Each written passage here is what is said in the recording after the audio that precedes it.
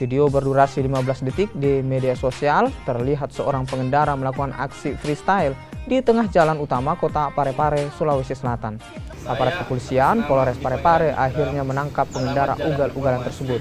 Untuk memberikan pembinaan, selain aksi freestyle di kota Parepare, marak aksi balapan liar yang dilakukan sejumlah pemuda yang selama ini telah dikeluhkan warga lantaran dapat membahayakan pengendara lain. Kejadian itu kenakalan remaja ya? Angkat banyak di jalan sambil uh, apa ya, terangkat begini. Ya. kemudian uh, itu sangat membahayakan dirinya sendiri bahkan orang lain.